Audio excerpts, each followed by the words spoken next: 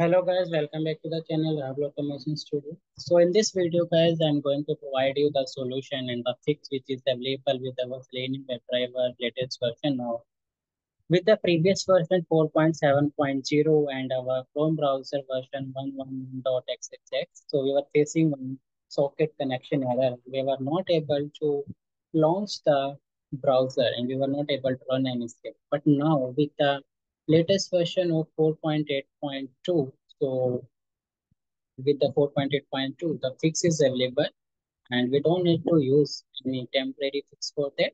So if we see the change log for 4.8.2 here, so multiple changes they have done, and but the most important is they have added the remote allow origin for our ChromeDriver.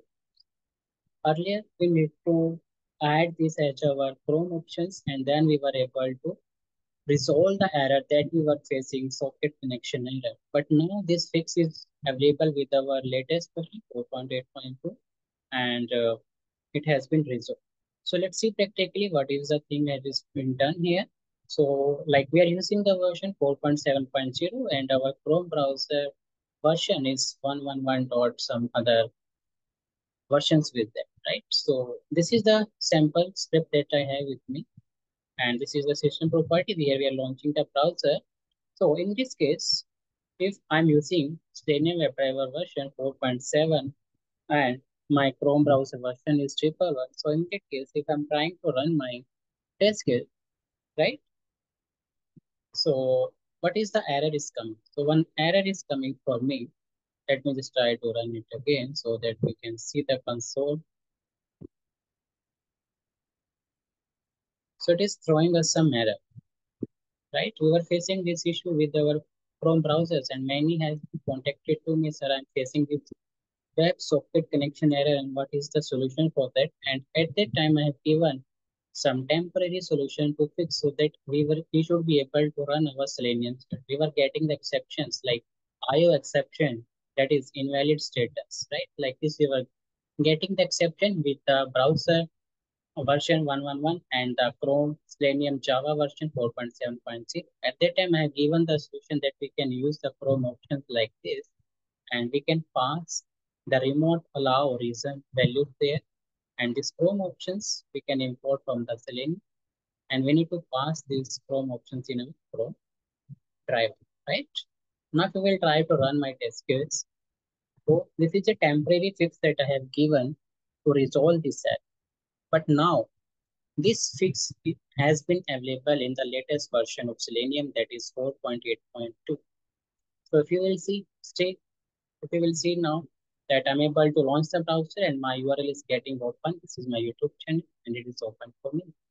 It is working fine. And in the console, I'm not getting any error like web socket connection error. I'm not getting it right now. So this is the fix that I have given. But now with the latest version of our Selenium that is 4.8.2, I will try to use that. So in that case, they have already added this by default. So I don't need to add it I don't need to add it manually from my side. So let's change the version.